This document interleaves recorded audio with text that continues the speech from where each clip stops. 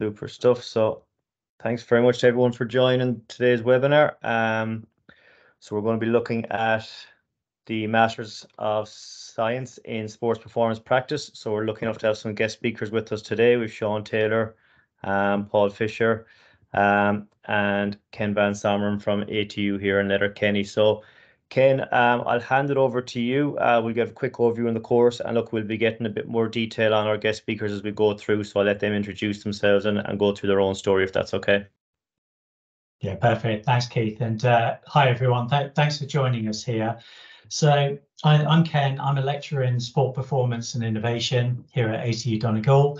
Um, help deliver a number of the modules and supervise the research projects with, with, within this program.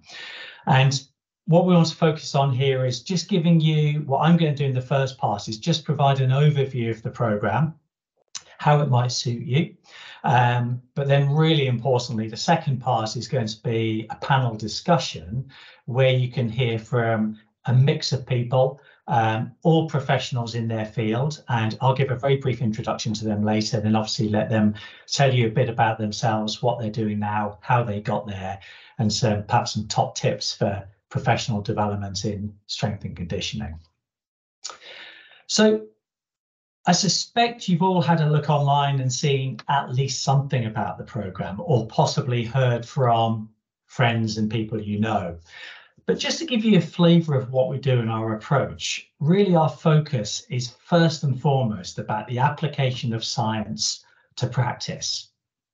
So of course we dig into the theory, of course we dig into the science uh, underpinning the physiology, the nutrition, the performance analysis and the strength and conditioning and so on.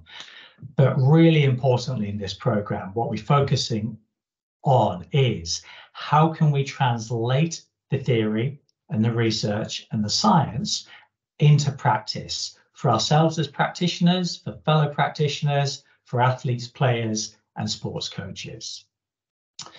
And so, because of that, the importance of that approach, we're very much about blending the science and the art of performance. So, yes, it's about technical knowledge, but it's also about the professional skills that underpin that as well. And for those of you already practicing as strength and conditioning coaches, you know very well that there's a demand on your technical expertise, but also on some of these soft skills. So how we actually communicate, how we build relationships, how we work in teams and so on. And so this is fundamental to the program as well.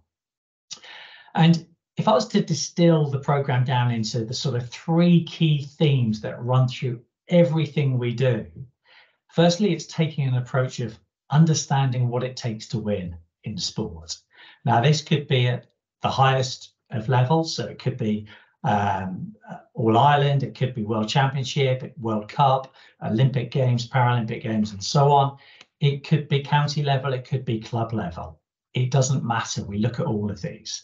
But it's all about breaking down performance to understand okay, what does it take from an athlete or player perspective and a practitioner perspective to help achieve that. Secondly, we take a multidisciplinary approach throughout. So yes, we do have modules in strength and conditioning and physiology and nutrition and so on. But even throughout those modules, we're very much linking between the two and encouraging learners to look broadly because no performance problem or performance challenge sits within any one discipline. And indeed, the best solutions never sit within one discipline either. And really importantly, from a professional perspective, a focus on impact. What is going to make a difference? Because as sports performance professionals, we're here to support the health, the well-being and the performance of players and athletes. Support sports coaches achieve what they need to achieve in terms of results. And if we can't do that, then we're not adding value and we probably won't be in that position for too much longer.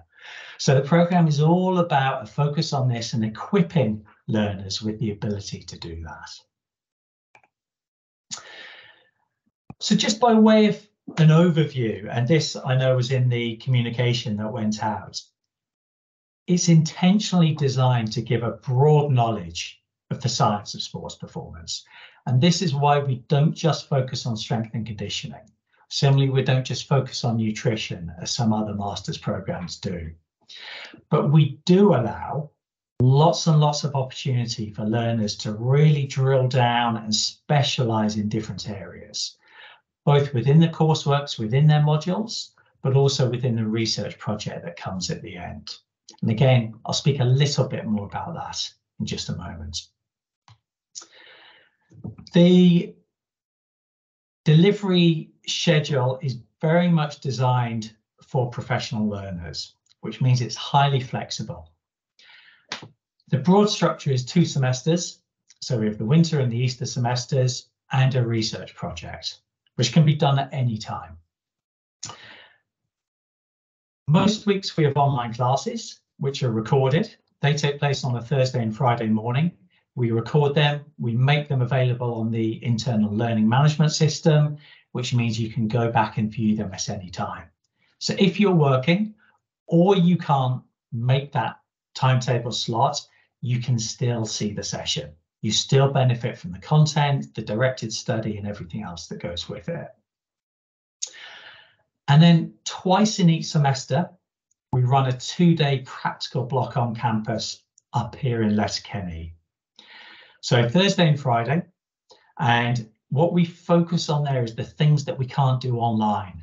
So it's practical skills in the high performance strength and conditioning suite or in the high performance laboratory or some of the other facilities. It will also be some teamwork as well so, and development of soft skills and evaluation of some of these soft skills.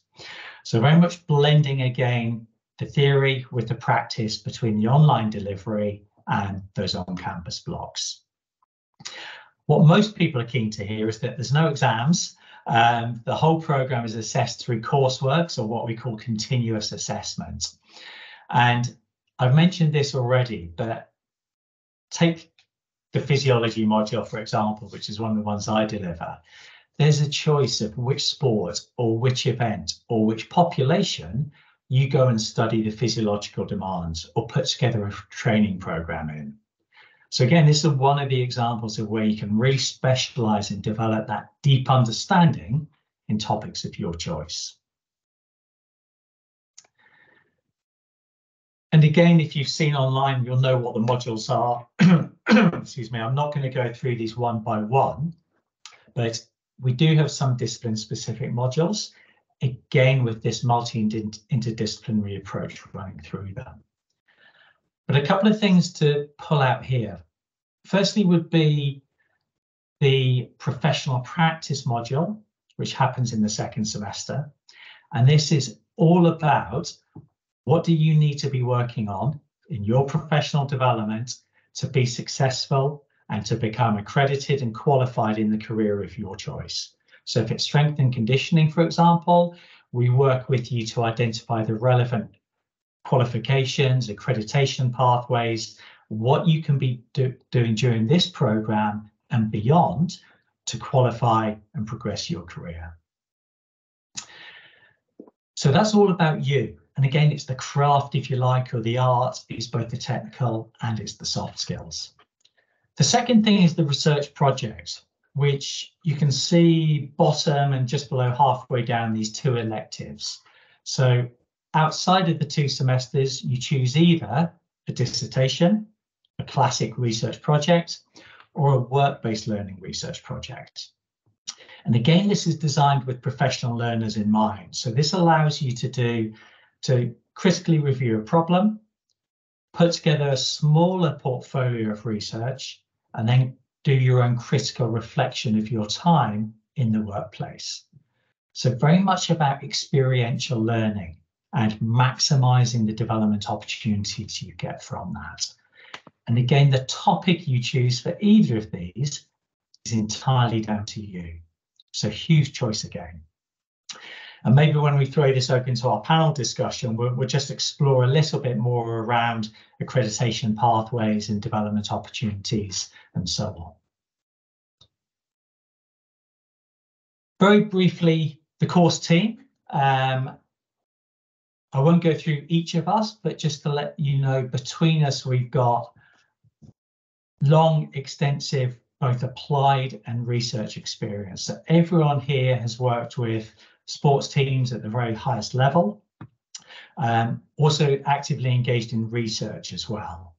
So what we're always trying to do is research some of these real world sports performance challenges or performance questions, conduct the high quality research, and then really make sure we're disseminating, communicating, partnering with sports organizations to inform practice and get the knowledge out there. We're also very fortunate between us all to have a brilliant set of professional networks and we pull people in from there to give guest lectures. Anyone from um, early career professionals who might be a little bit closer to people in, in the MSc through to some of the absolute world leaders in their field. So you get a real mix again of technical content and expertise with the opportunity to hear from people who, who've been there and done it or in the process of doing it and developing their own careers. So again, a very rich learning opportunity from that. Last thing from me before we open up, and Nicola may well want to come in a little bit on this as well, but just to let, let you know briefly around access and, and application. We typically um, look for candidates or applicants with a level eight, so an undergraduate degree in a sport related subject.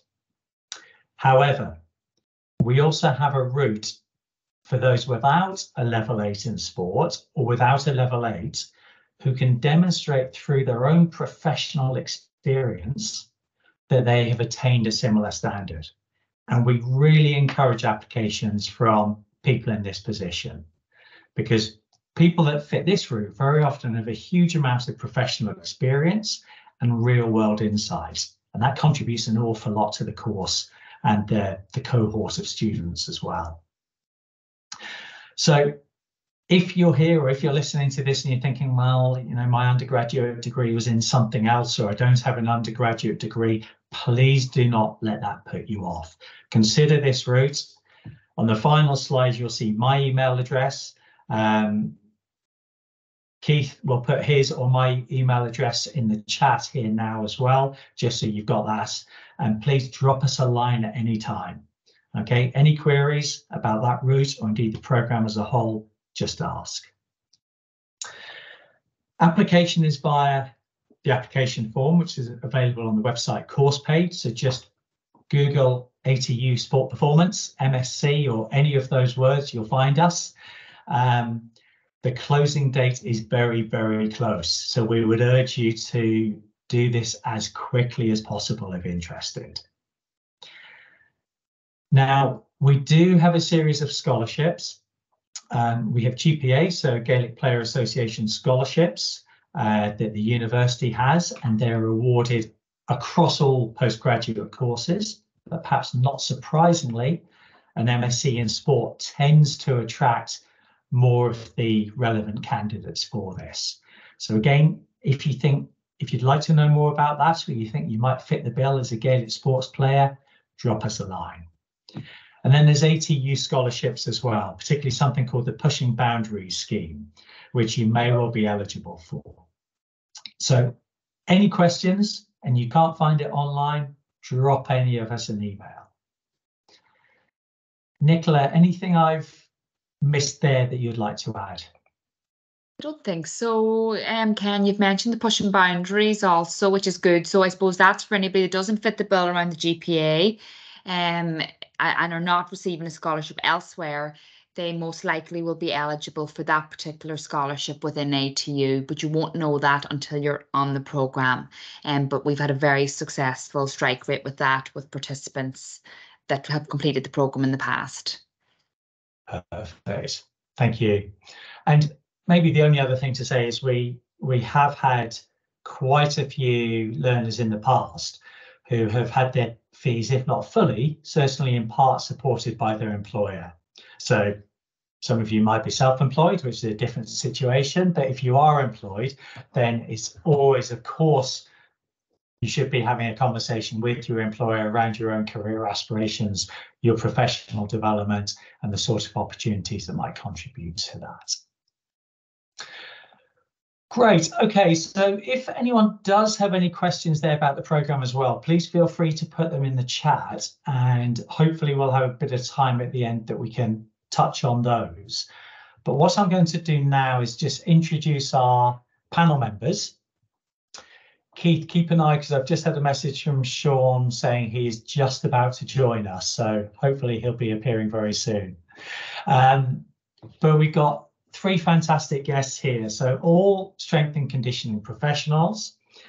By way of very brief introduction, and I'm going to hand over to them. We've got Sean Taylor, so professional S&C coach doing lots of things as you'll hear about in a moment and was actually one of our students on the first cohort running through this program a couple of years ago. Sean Flannery, who is on his way in, um, is head of strength and conditioning for Sligo Rovers and runs his own um, strength and conditioning fitness centre SFX in Sligo.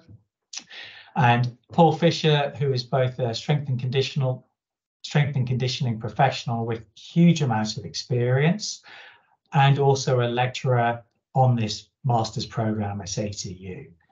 So gents, and unfortunately it is three gents we've got. We don't have any female representatives in this, which is a shame. But Sean, maybe you can just kick us off, Sean Taylor, and just maybe just tell us very briefly what your role or roles are now, and maybe just a little bit about the journey you've taken to get there. Yeah, perfect, Ken will do. Um, first of all, thanks a million for having me on. It's nice to come back from a course I'd done a couple of years ago and explain to people kind of what I've done with the course myself in terms of my own development. So um, over the last couple of years, I've based myself in the northwest of Ireland. So currently working out of County Sligo.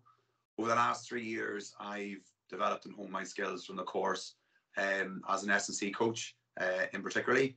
Uh, I'm working within the Sligo Grammar School now um, with their rugby team mainly as head of performance. So looking at all their age groups from 14s the whole way to 18 and a halfs. That's both now male and female since last year. So doing a lot of good work with them. Um, and then currently alongside with that, I've been involved with uh, team sports like Sligo GAA. So I've been involved with their minor to senior setup for the last two years also. I was a part of the under 20 backroom team that won Connacht back to back over the last two years, and we got to an All Ireland final this year as well. So kind of shows that we're putting a lot of good work into our underage setup with coaches and support staff, and it's good to see we're, we're reaping the rewards of that. And then also seasonally, then I'm working with basketball in Basketball Ireland.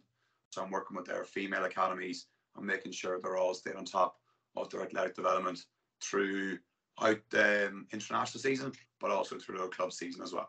While they're not in our hands we still got to make sure we have good structures in place where they're getting looked after and supported throughout the whole calendar year. From the course itself, um, as Ken has mentioned to you all, it is multifaceted in terms of what we're covering. So we have those nutritionists, performance analysis, S&C, then your own professional development. I think having that broad range gives us a good idea as to what other disciplines need to know, and then we can draw insights from that if you're an S&C professional or the opposite way around, if you're mainly a nutritionist, you got to be able to understand what the S&C guys are talking about and what they need to correlate with to terms of what good performance is. And then we can tackle well, that. Sean, sorry. Let, I'm going to ask you to hold that thought because I, will bring everyone in and we'll we'll have a bit of discussion around that in a yeah, while as right. well. Um, but I think another thing we'll pick up and is you know you've you've come out of the masters and obviously you were working during the masters and before as well. But you know you've come out just two years ago and now doing an incredible amount at county and national level. So it'll be interesting in a moment to get your your thoughts and insights on you know what it takes to you to advance your career and the sort of things that our um, audience might be able to learn from that. So we'll come back to that. But thanks, yeah, Sean. Of course. Um, Paul, perhaps you can give us a quick intro of where you are now and how you've got there. Yeah, no problem. Again, thanks for having me on the, the talk. Um, so as a sports science undergraduate, I suppose I had a bit of an interest in strength and conditioning and I've been in this industry now since 2010, since graduating. Um, my main background would have been in GAA initially, so I would have worked with Donegal GAA right through, the, I suppose, the the good times um, from 2010 right through to 2020. Um, thereafter, I would have worked with Donegal Ladies. I would have worked in pro soccer in the Northwest as well with Derry City FC. Um, and a lot of club teams, I suppose, in GAA and soccer around here in the region as well. Um, couple of my more main roles now, I, I do have a gym, so I am operating as a day-to-day S&C coach with, I suppose, the public rather than just elite athletes as well. So it's something we can touch on. Um, you know, as a lot of our practices can be brought back to the non-elite environment as well. Um, and a couple of exciting roles, I suppose I'm working with um, ATU closely now as well with their scholarship-based athletes as well. So that's something we're trying to to tie together from a research perspective and the practical side as well, where we're uh, providing strength and services and supports to our high performing athletes that avail of A2 scholarships. Um, so that's something as well that um, you know, if you come on board as a master student or if you want to get involved, that you'll be very hands-on helping with us, you know, linking those relationships between I suppose the classroom and the gym or the field. Um, yeah, so that's pretty much where. I'm at in a nutshell. Perfect. Thank you, Paul. Now, I can see a hand up from a meeting guest. That may well be Sean. Is this? Are you with us, Sean? No, if not. Just bear with me a second, Ken. You see, um, attendees can't access their microphone, so I'm just going to change that. Okay. Can you hear me, guys? We can. Is that Sean? Happy I'm, I'm struggling here. I'm looking at you, but, but I can't. I can't. Uh, I can't make sure that you can see me at all. But anyway, I'm here. We can't see there you. Are. You should have access nice now, Sean. You. So. um, oh, how you doing? Yeah, very good, Sean. Thanks for joining us. Look, I've just given a, a quick overview of the program, and we're just just sort of starting the panel discussion. But the other uh, guys have just kicked off by giving a very quick intro in terms of what they're doing now and their sort of career journey to date. So do you just want to give us a quick summary of that for you, please? I can indeed. Yeah, I, have been looking. I have been listening to, to the guys there. Um, my my uh, pathway probably has not been as conventional as as you would normally expect um, from from playing um, elite sports, if you want to call them that, in, in, in the League of Ireland or, or inter-county Gaelic in the in the noughties, uh, working in a family business in the noughties. Um, towards the end of the noughties, my uh, my playing days came to an end due to injury. Uh, the recession hit, so the family business uh, went um, finished up. So in my early thirties, I was left um, with no qualifications or sporting career finished. So at that point, I, I, started a journey of, of part-time studies um, alongside setting up my own boot, you know, boot camp, circuit training sort of uh, classes. Um, I went I went through the LA, I went through UL really, um, the National Council Council for Exercise and, and Fitness. So that that journey started, uh, and I continued certificates and diplomas and degrees and uh, got got to that point and and eventually went down to the LIT Thurles for the for the the masters in in sports strength and conditioning, which has taken me up to to this point now. Uh, setting up my own gym in 2018, which was probably a lifelong sort of ambition, and uh, things are going good. Uh, strength and conditioning coach now with with Sligo Rovers and uh, a number of individual athletes over over the years. Probably the most most um, most notably one with Cherry probably is the most prominent I would have worked with and probably ever will work with. Um, and then on top of that, then is the, the general public that's that uh, are the bread and butter of, of yeah. weekly or daily life. Brilliant. Thanks so much, Sean. Really interesting. Um, yeah, and, and, as you say, some of that perhaps not by design, but uh, by circumstance. But but here you are now making a great success of it. So maybe we can sort of move to, you know, looking back from where where you all are. Not even looking back, you know, looking forward as well. But you know, seeing what you experience on a day to day basis. What do you think some of the some of the challenges are for qualified and practicing S&C coaches in terms of advancing their careers. And maybe Paul, you can kick us off on that one. Yeah, well, I think um, one of the things I would have seen in, in recent times is people would go and get um, a qualification um, that's very specific or very niche to a, a certain skill set. Um, the real world, when you go out into it, then it's probably not enough um, to maybe get involved with the likes of your high performing teams that we all want to be involved with. Or um, so I think like having that broad scope that we talked about, you know, within our course is very good. You have to be able to sit down and have conversations with chartered physiotherapy, with your nutritionist, with you know your athletic therapist. So you have to be able. Whereas if you go down maybe the more conventional routes of just one topic or one subject, you maybe you don't pick up enough around that. Um, so I think that's one of the challenges where we have loads. You know, we have a saturated industry with people with qualifications, but when it comes down to the actual applications of jobs and so on, that they go after the people that maybe have a, a broader scope on the, the whole field and can add value across the board. Ask Sean Taylor when he goes with Irish basketball. I'm sure he's doing more than a lot. He's doing a lot more roles than just being an S&C coach. You know, he's filling water bottles. He's doing, you know, the basics, yeah. but they have, they're very comfortable in the knowledge that they have someone that can do it all uh, in that sense. Yeah. yeah. Uh, Thanks, Paul. Well, maybe Sean will bring you back in on that because I, I cut you off there when you were Sean Taylor. When I cut you off when you were starting to talk elements off that. But may, maybe you could link, you know, if you see the same challenge that Paul's articulated there, perhaps talk about that, but also to what extent do you feel that the program at ATU helps get you to that point? I think the big word is kind of multifaceted. Like when we go into certain teams, and whilst Paul said we all want to be at the high performance level, at that level, they have the budget to have people who are specifically in their own roles. But as you go maybe from that grassroots to podium stage, you got to be able to have that overall knowledge of different aspects of sports performance. So when you do do go into those certain jobs that you're not the jack of all trades, but you do know enough that can get you by and then you can have that you can draw insights from different areas of that multidisciplinary aspect that you can go into a team and go look i can actually do this. I can do that. I can give you a hand. Then it just helps you with your overall job then of being an S&C coach.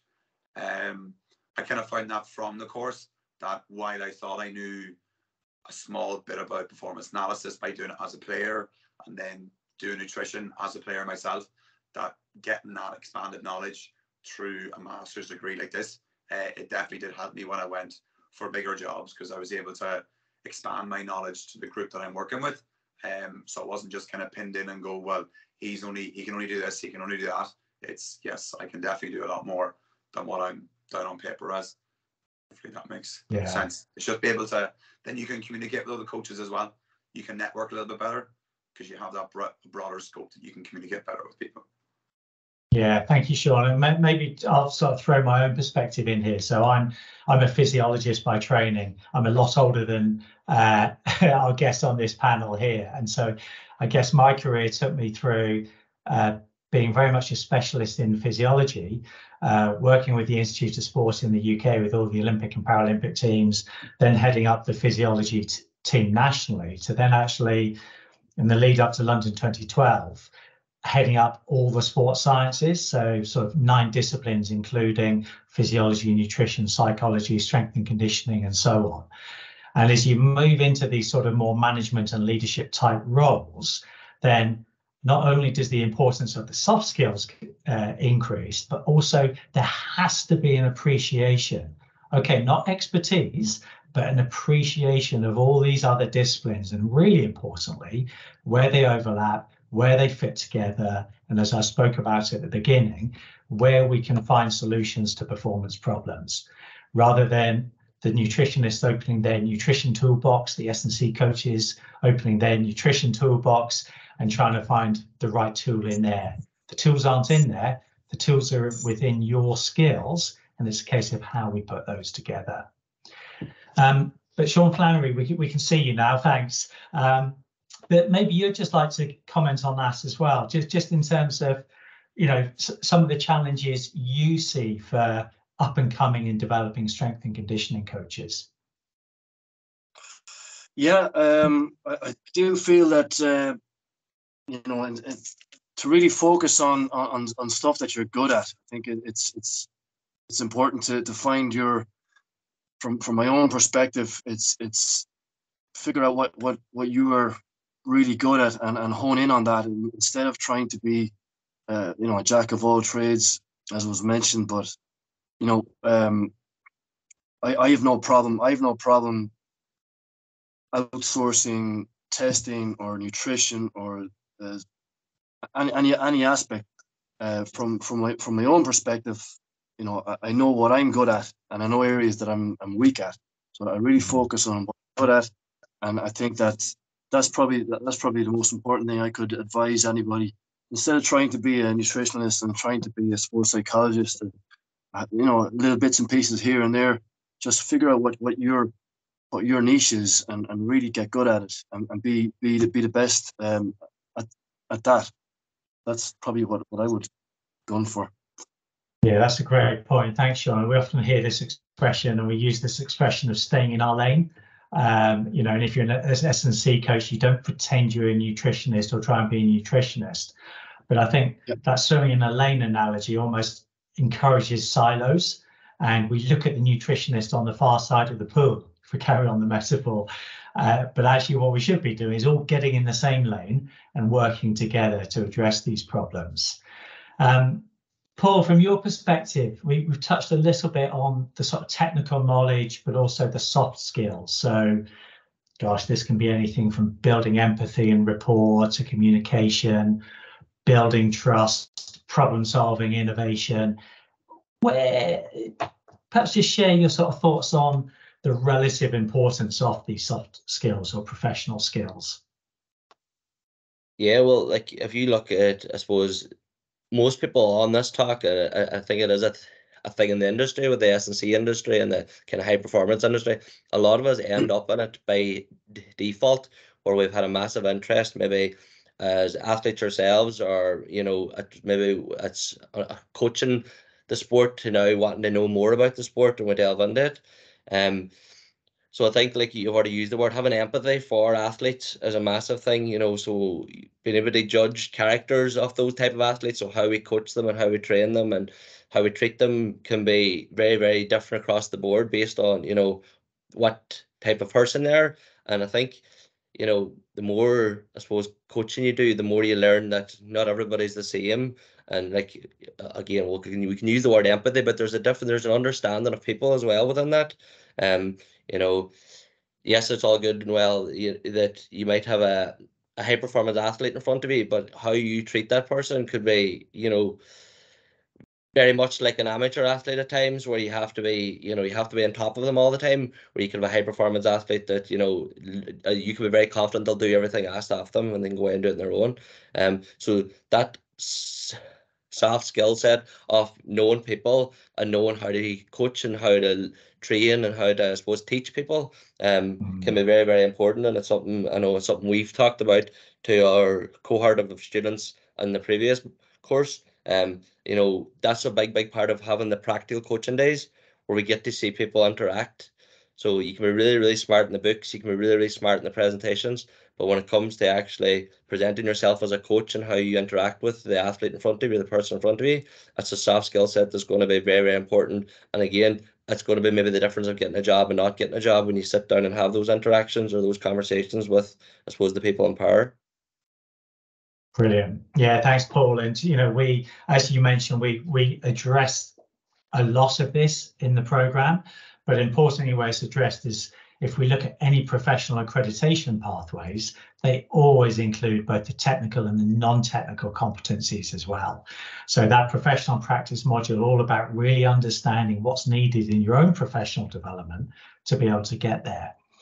Um, Sean F, I, I, I'm interested in obviously one of your key roles now with Sligo Rovers, and of course you were a player back in the day as well. So you walk into that sport, you have an understanding, you have an empathy with players and coaches.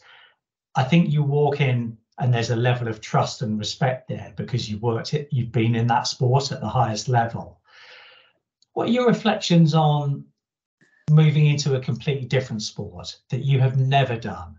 Um, you know, at, what are the challenges or what are the opportunities to apply your skills to make sure that you can deliver that level, same level of impact? Yeah, it's um, it, it, definitely makes a difference when you have when you have a connection to the to the sport or the, or the club.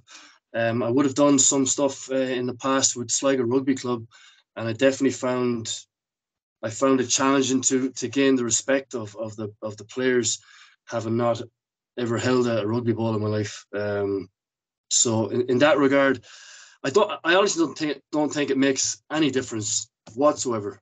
You know, um, what what sport you, what what your sporting background is, but but I think just from a level of uh, of of of respect, even for starters, and an appreciation of the demands of um, of the of players in question. That that has to be a consideration, but uh, it, it it that you know in my in my experience that would make it it, it makes a positive. It's a has a positive yeah. has had a positive impact on, on my interactions. It doesn't mean it doesn't mean you're going to get people to work any harder. That's yeah. that's a it's a given. no, very true. And, and, I think about my, you know, my own career. God, I've worked, been fortunate to work with lots of sports, but Formula One would be a good example. You know, I've never been anywhere near a Formula One car. Um, however, the approach we take as professionals and very much what underpins this program as well. What's the method? you know, how do we go about critically analyzing and understanding the demands of a sport or an event?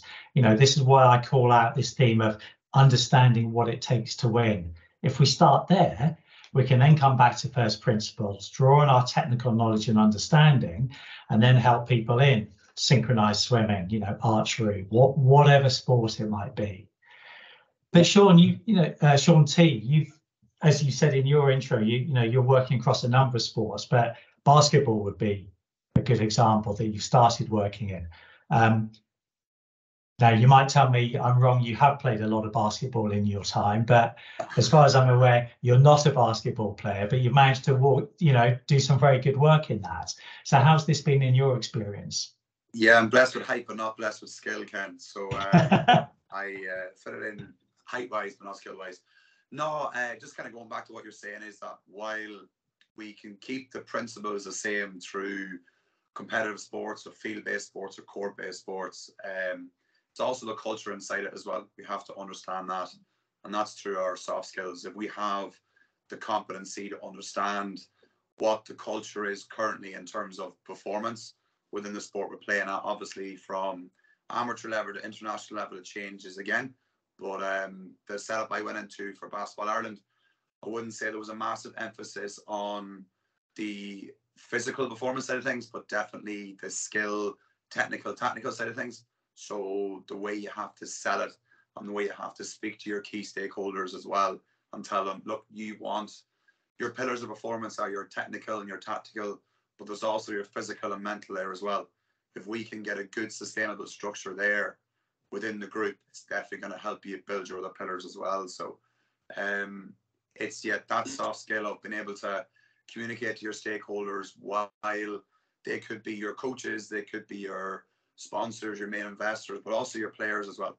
They're stakeholders too. If you don't get buy-in from them, you can have the best program in the world, but if you're getting very little buy-in from it or um, completion or consistency, it's uh, null and void. So having the principles of training are good, but having the understanding of what the culture is and who your stakeholders are and how to get them to buy in was also a positive, a big thing to work on as well. Brilliant. Thank you, Sean. I mean, and there's so much valuable insights in there. I'm, a, I'm aware of time. I'm going to put one final question really briefly to the panel. Um, I'll let you think about this. Your one top tip for S&C coaches advancing their career. I think you've probably covered a lot of this already, but one brief top tip. And before I come to the panel, just remind people if there are any questions, please do type them in the chat or get in touch with us via email afterwards. You know, delighted to, you know, jump on a call with you, discuss the course, see how it fits with your own professional development at any time. So, um, Paul, go and kick us off. Your top tip. Uh, I suppose know where you are, um, in the sense that what almost what Sean F said, know what your skill set is, know what you're good at, and know when you have to, I suppose, plug the gaps. Know when you have to go and learn a bit more. Um, that's one of the things we talked about again last year with our students was, you know, address where you are now, look at where you want to be, and what are you what are you missing in between to get there. Um, and going after those skills, you know, we one wee bit by bit will help you get there eventually. So, uh, yeah, that for me, just know where you are and how you're going to get to where you want to get. Plot your route. Brilliant. Thank you. Sh- Sean F. your- I would say, uh, be, be, yeah, be open to uh, to keep learning. Yeah, be open to to accept that you, you you'll never know it all, and just to keep, yeah, keep uh, on that on that journey of, of learning. Yeah, great point. Thank you. And Sean. Well, you two of them very good answers now. It'd be hard to get third, but um, definitely see your education and your development as an investment, not a cost. Um, the big thing is that there is going to be certain things that are going to we have to be paid for because we are being taught by other professionals, and that's their job. Um, you know, by staying accredited in whatever field you're in, uh, investing in small little courses, picking up little bits here by there. And as Sean F said, it's like just understand that you're not going to know everything, but try and chase that. You'll try to be the best you can. So see it as an investment, not a cost. Great point. Great soundbite as well. I might use that in the future. Thank you, Sean. Um, guys, thanks ever so much for that. that. That's been hugely valuable and really interesting. I just would, I would have loved to have more time to dig even deeper, but no, really appreciate your insights. Um, so on that, I will hand back to you, Keith.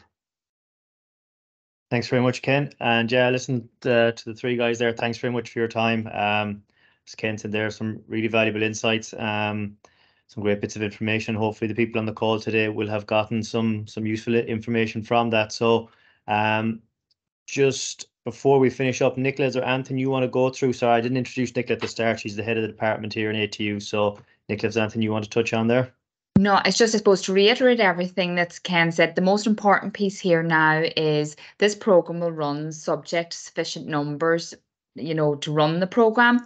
Therefore, we do need a good guide on who, you know, who wants to do the program. Therefore, just encourage you to put your application in as soon as possible or reach out to any member of the team. Keith can both put their email addresses there in the message board. Mine's is on the website.